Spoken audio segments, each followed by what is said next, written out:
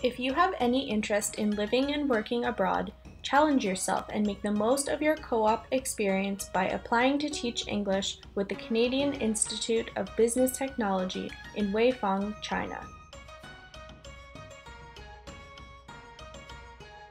Weifang is located on the eastern coast of the People's Republic of China, four hours south of Beijing by high-speed train. Like many cities, there is lots to do and see in Weifang.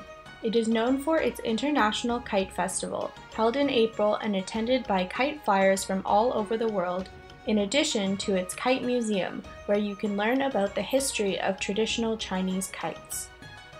The city has many tea houses and gardens, sometimes tucked away in small alleys where you had no idea that you would come across something so beautiful and so ancient.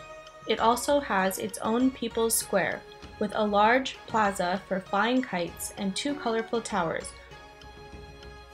On the more modern spectrum, arcades, movie rooms, and karaoke bars are extremely popular in Weifang.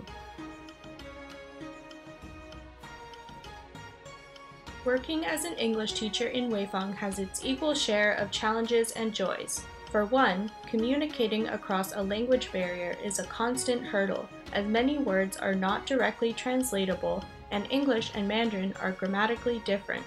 Despite these challenges, sharing knowledge that expands children's opportunities and shapes their lives for the better is truly a privilege. Living and working in a new city provides countless opportunities for personal and professional growth.